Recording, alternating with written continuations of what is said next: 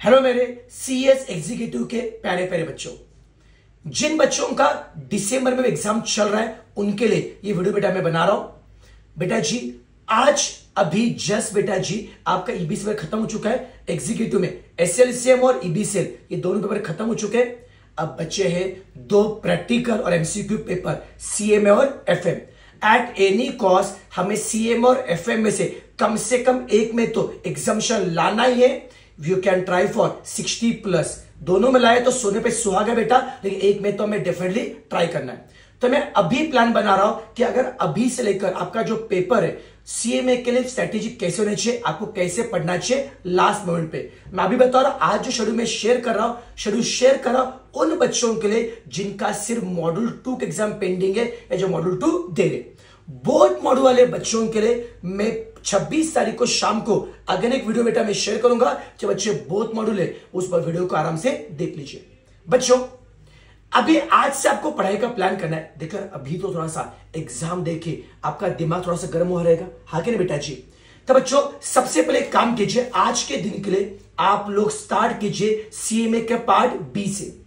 हल्के फुल्के टॉपिक शुरू कीजिए, जैसे chapter thirteen cost record sorry, cost record नहीं chapter number thirteen overview of the cost chapter fourteen cost record उसके बाद chapter number sixteen that is ratio analysis chapter seventeen MIS ये चार हल्के फुल्के टॉपिक है। आज शाम को आराम से 10-11 बजे तक खत्म कीजिए, खो जाएँगे।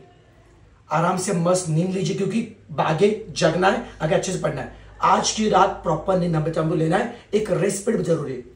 कल सुबह आराम से उठिए। फ्रेश होके कल से पार्ट बी के जो रिमेनिंग टॉपिक है पार्ट बी के जो बाकी जितने भी टॉपिक बचेंगे पार्ट बी के वो खत्म करना है। चैप्टर 15, 18, 19, 20, 21, 22 जैसे बजट हो गया मार्जिनल कॉस्टिंग हो गया वैल्यूएशन के टॉपिक हो गए शेयर बेस्ड पेमेंट हो गया ये सभी टॉपिक आपको कल खत्म करना है शाम को छह बजे तक खत्म करना है। तो कल शाम को छह बजे तक आपका पार्ट बी थोरोली खत्म हो जाएगा। उसके बाद शाम को छह के बाद आपको शुरू करना पार्ट है अगेन पार्ट है के हल्के फुल्के टॉपिक बच्चों आपको रिवाइज करने जैसे कि पार्ट ए में आपको रिवाइज करना chapter one introduction to financial accounting chapter दस, ग्यारह, बारह accounting standard national authority IFRS ये सब सिंपल थे टॉपिक उनको रिवाइज कीजिए। उसके बाद नेक्स्ट डे 26 तारीख को आपको बच्चों रिवाइज करना है remaining chapters of part a up to evening 6 PM तक। उसके बाद एक बार परसों शाम को 6 पीएम तक सारा सीएमए खत्म हो गया। 6 पीएम के बाद में आपको क्या करना है? हर टॉपिक के फॉर्मूला हर टॉपिक इंपोर्टेंट थेरी जो हमें थेरी बूस्टर में हमने देखी थी, उसको बेटा जी पढ़ना आपको पढ़ के निकाला है। और परसों के दिन एग्ज़ाम के दिन सुबह अगेन फॉर्मूला अगेन अपना जो हैंडबुक है, उसको आपको पढ़ना है। हैंडबुक का प्रिंट बेटा सब लीजिए। एग्ज़ाम के दिन लास्ट मोमेंट पे आपके सबके हाथ में हैंडबुक होना चाहिए। सेंटर में भी लास्ट मोमेंट पे आपको क्या पढ़ना है? हैंडबुक पढ़ना है। ना मॉड्यूल ना कोई नोट्स आपके हाथ में हैंडबुक का प्रिंटेड कॉपी होना चाहिए। वो बेटा आपको लास्ट मोमेंट पे पढ़ना है। सर वे लास्ट मोमेंट पे किसमें से पढ़ाई करेंगे? पहले बता रहा हूँ। जो मैंने सीक्वेंस बताए वो सीक्वेंस को पढ़िए।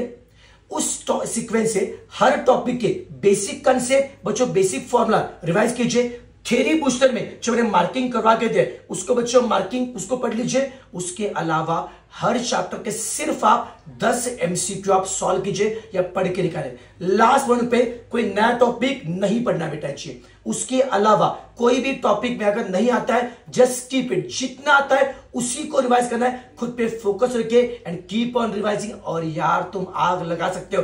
तुम में पोटेंशियल है। इतने महीना तुमने ज़बरदस्त बच्चों मेहनत किए जिससे फाइनल पंच जहाँ पे अपने को तोड़ने का है।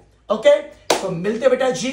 हम लोग वापस 25 तारीख के सॉरी 26 तारीख के शाम को मिलने वाले 26 तारीख के शाम को मैं आपके साथ में सीएमए का one day before exam session का एक वीडियो शेयर करूँगा और साथ में आपको मैं नेक्स्ट डे पेपर कैसे अटेंड करना है, उसकी भी स्ट्रेटेजी आपको बताऊँगा। ठीक है?